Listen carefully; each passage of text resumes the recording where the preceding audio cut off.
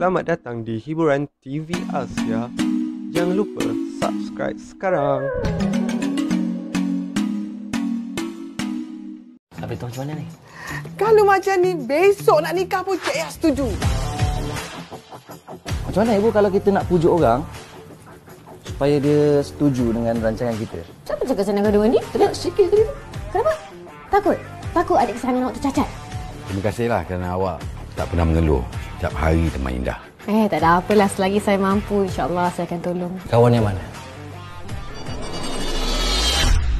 Ya, dia baru je keluar. Ah, tapi kalau dong anak kerja dia sempat lagi ni. Ha? Aku jadi yang satu-satunya Yang kamu damba Sampai kau